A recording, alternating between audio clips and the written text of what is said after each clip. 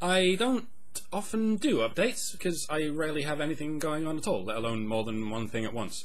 But some of you might be wondering where where are all the cartoons and fuck off you sweaty cunt give us the cartoons and so forth. But pipe down, we're already four episodes in. We're just uh, we, we're biding our time before we uh, upload them somewhere less grimy than my channel, shall we say? And when I say we, that's the other thing. Um, to explain to you why it is I've been a little uh, distracted lately would be to um, rather gloat. Well, I'll take you. Uh, I'll take you through my priorities. Right, okay. we're going. We're going mobile now for the first time since fucking Tallulah. um, right. Uh, bottom priority is uh, is this thing off? Oh wait, well, bottom priority would be yeah, there's both b- bottom and top priority. Unfortunately, fucking day job. I'm considering getting getting a Patreon just so that I there's a one in million chance that it might lead to me not having to fucking post again. Yeah, it didn't work out with the BBC. I can't imagine what it was about me they didn't like. Probably that I'm not a pedo. But yeah, next priority is the old Firefox window, uh, in which good old Dark Cheese TV is, is still uploading a video every Sunday. Fuck you, Dark Cheese TV. No, fuck you, Dr. Randomercam. Uh, oh yeah, and uh, if you wanted, look, finally some proof that I am actually the one animating this stuff. Yeah, see, there's Karen. Wanna move her around? See, uh, move her around. Woo, legs. Woo. Sorry. undo. Always undo. You never get anything done unless you undo. uh, where's the other ones? Yeah, see, there's Hannah. There's Alison. There's Diana. Who's that? Hey, who's that? Oh, you can't see it very well. It's Victor Zen. hey, who's that? John the Otter. I'm funny. John's surprisingly difficult to draw as an otter, you know. You'd think he looks like an otter, but he totally does not look like an otter. Sage, on the other hand, looks like any animal. You must draw Sage. He's why cavemen painted on walls. and yeah, uh, is our latest um, target. I can't remember who it's based on, but it's a sloth. And yeah, and this is how we put it together. Eh? Anatomy of a feminist. It's just a mismatch of body parts. and uh, priority slightly above that because it involves actual comedy is this gigantic clusterfuck. Yes, I do all that shit as well. It's the sound. It's my cutting room floor basically. I have no chance of making that sound in the least bit interesting. I should find that sort of thing interesting. Um, so let's hop over to the Chrome window where we have the highest priorities of all, largely because they're um, emergent and uh, well time sensitive. I'll escalate quickly, shall I? uh, we've got the blog post I did for Honey Badgers. We've got the feature image I did. Didn't get a lot uploaded. We've got the review I did for the Badger podcast. Got the Facebook group we only just did. There's some magic going on in there. Got the Twitter sync ups. Who's this random loser sandwiched between some legends? What the fuck's going on, people? But yeah. Uh, as you can imagine, the most interesting priority is this window here.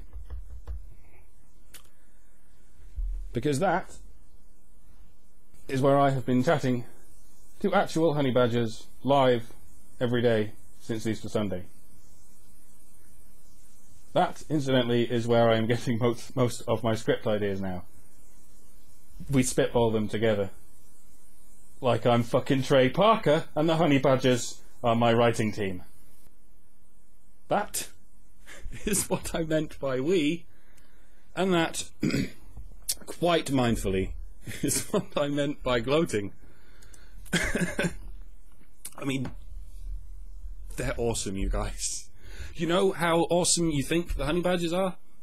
They're even more awesome, you guys. It's just mad. Hannah's just this rock. She always knows what to say. Whether it's an important point or just a random bad pun, she just seems to just immediately know how to explain it. Alyss is fucking brilliant. You can't listen to Alyss for more than five seconds without going, fuck yes! Yes! Such a firecracker up the ass, that one. Rachel's awesome. She knows everything about geek culture. Fucking everything.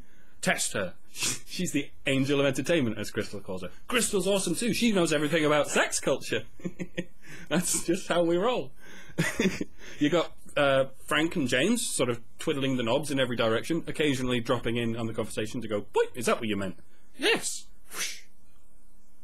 You got uh, Jess and Yule and Europa and Phil and you know, write, writers and artists like me who answered the, the Badger signal, except they're actually you know good artists. It's kind of an art- arty community they've got in there. That might be why they're mostly women. Where arty people meet MRAs in the Venn diagram society is a remarkably small sliver of people, and it's largely female arty men who give a shit about men's issues and will stick to their commitments turn out to be quite rare specimens. Sage turns up every now and again to, to, check in, but you know he's a he's a busy beaver in the you know real world. And yet, don't get too excited, fanboys. I'm yet to speak to Karen on a on a private platform. She's you know super busy in the real world and dead to me. and um, we we think of Alison as being super busy as well, and that you're lucky if she says two words to you. But the thing is, what she's usually busy doing is the Honey Badger show. Everything it takes to run the Honey Badger show. In fact, every now and again, what she's busy doing is having rather long, detailed, fascinating, and slightly Machiavellian discussions with me about how to deal with the psychological nuances of certain individuals. And folks, you may set your own bar regarding where you where you think you've when you think you've truly made it in this business. But bear in mind, the bar might just jump to attention by itself and go, "This is how awesome you are now, and this is how real shit just got. Deal with it." so yeah, come at me, feminists. I am now learning from the master. See what happens. And by the way, never has there been a more shining example of the difference between a leader and a bossy cunt. Alison would probably completely reject the label of leader. Most good leaders would. But the fact remains there are things leaders do, and Alison does them. Fucking spectacularly. That's the difference.